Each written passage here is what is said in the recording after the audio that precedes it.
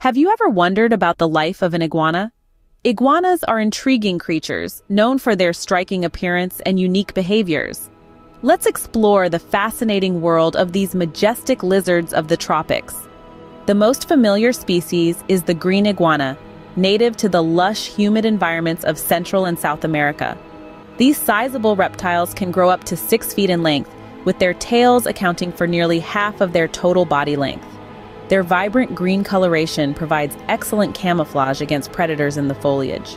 Being primarily arboreal, iguanas spend most of their time in trees. Their strong limbs and sharp claws enable them to climb with ease. Often they can be spotted basking on tree branches in the sunlight, a crucial behavior for their thermoregulation as they are ectothermic and rely on external heat sources to regulate their body temperature. One of the most distinctive features of iguanas is their dewlap, a flap of skin under the chin that can be extended and contracted. Used for communication, males will extend their dewlaps and bob their heads in a series of displays to establish dominance or attract females during mating season and territorial disputes. These reptiles are predominantly herbivorous, feeding on a variety of leaves, flowers, and fruits.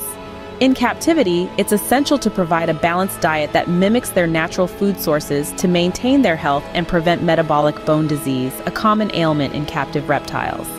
Breeding season for iguanas typically occurs during the dry season. Females lay clutches of between 20 to 70 eggs in burrows they dig in the ground. After laying the eggs, the female covers the nest and leaves the eggs to incubate on their own.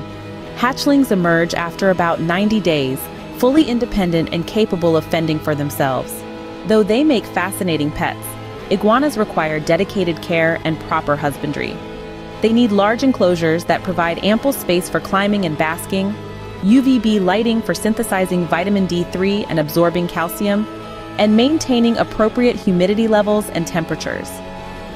The preservation of wild iguana populations is crucial, as they face threats from habitat destruction, hunting, and the illegal pet trade.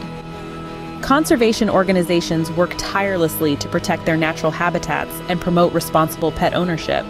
In summary, iguanas are captivating creatures with a rich natural history and unique behaviors.